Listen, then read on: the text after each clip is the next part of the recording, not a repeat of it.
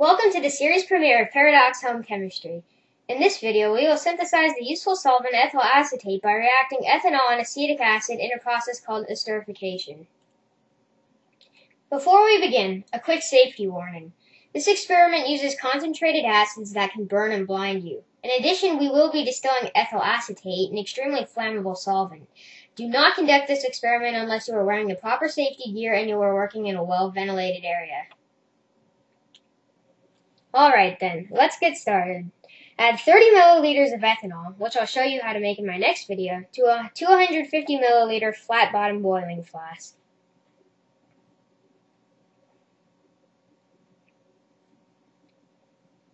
Now you add 30 milliliters of glacial acetic acid.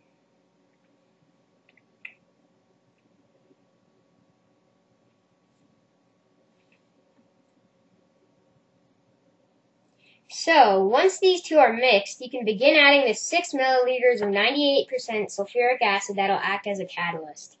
Notice that the flask is under ice. The low temperature keeps side reactions from occurring. You'll want to add the acid at the rate of 1 milliliter a minute, or longer, with constant mixing to keep the temperature down. So, here it is after I've added all the acid. I allowed it to sit in the ice bath for a while to let it cool down. After you've ensured that the mixture is homogeneous, you can take the flask out and set it up for reflux. Once you've attached a reflux condenser, you can turn on the heat and bring the solution to a boil. I'm using a hot water bath to provide even heating. It's also useful to have the mixture agitated with a magnetic stirrer. This will prevent dangerous superheating that could eject hot liquid forcefully from the flask. Allow the temperature to remain at about 90 degrees Celsius. Here it's at about 88 degrees. Let the reaction proceed for another 30 minutes, keeping a close watch on the temperature. As you can see, the solution in the flask is gently boiling.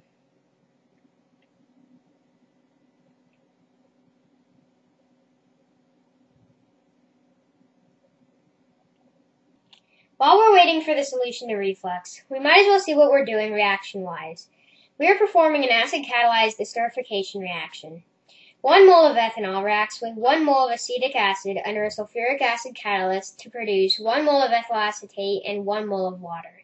The theoretical yield for this reaction is 51.08 milliliters of ethyl acetate. Okay, the solution is done refluxing. Now it's time to set up for simple distillation to purify the crude ethyl acetate. The flask is heated by a hot water bath held below 100 degrees Celsius. The vapors travel through the fractionating bulb and into the 300 millimeter Graham condenser. The distillate is collected in a 250 milliliter Erlenmeyer flask. Note that the yellow tint is due to the rubber stoppers in my apparatus. Also, I wanted to mention that some suppliers sell distillation kits that use Graham condensers diagonally rather than vertically. This is inefficient because your distillate will get trapped within the condenser, backflowing if you lower the temperature. That is why I later switched to a 300 millimeter Liebig condenser. Anyway, continue the distillation until you've distilled off about two-thirds of the mixture. Here is the distillate. I'm going to pour this into a graduated cylinder to get a rough idea of my yield so far. The yellow tint seen earlier isn't a problem as it was removed by the distillation. As you can see here, I've collected just under 40 milliliters of crude ethyl acetate.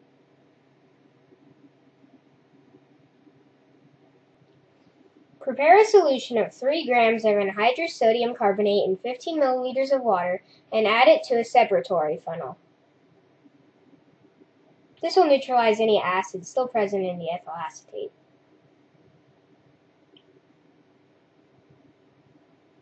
Then add the distillate.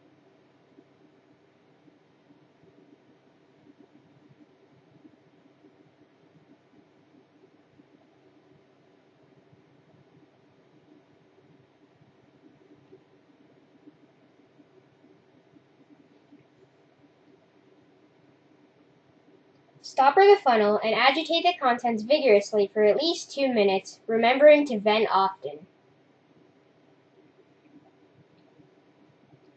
The stopper leaked a little bit. Oh well.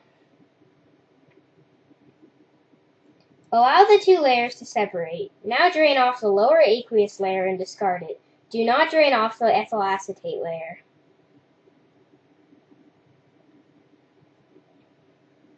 Repeat the wash using a solution of 3 grams of anhydrous calcium chloride and 15 milliliters of water. This helps pull out any residual ethanol.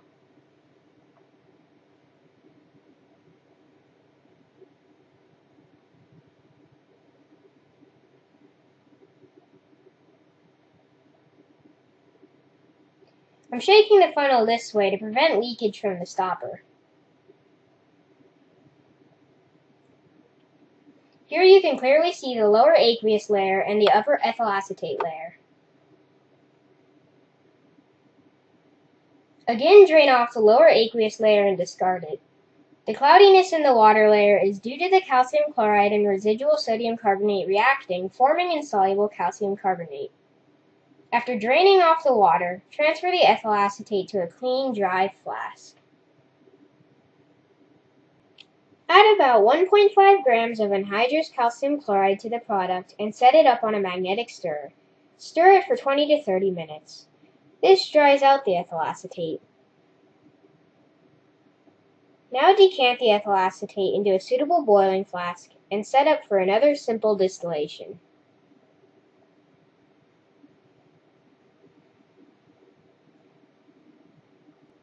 Bring the ethyl acetate to a boil, and turn on the water pump attached to your condenser to start cooling. A small amount of ether that was formed in the reaction may come over from 35 to 40 degrees C. However, no ether came over during my distillation. At the time this video is filmed, I did not have a thermometer in my distillation apparatus, so I kept the water bath at 85 to 90 degrees Celsius and collected distillate until it stopped coming over. In the end, only a few milliliters of liquid was left in the boiling flask. If you do have a thermometer in your distillation apparatus, collect the fraction that comes over between 74 and 79 degrees Celsius.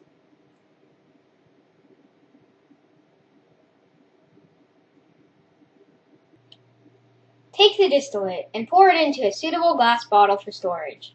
In the end, I found that I had collected 22.04 grams, or 24.57 milliliters, of pure ethyl acetate. This represents a 48% yield, but remember that some was lost during distillation as well as when the SEP funnel stopper leaked. Store the bottle in a cool area to minimize evaporation. So here it is, pure ethyl acetate. Thanks for watching, and see you next time on Paradox Home Chemistry.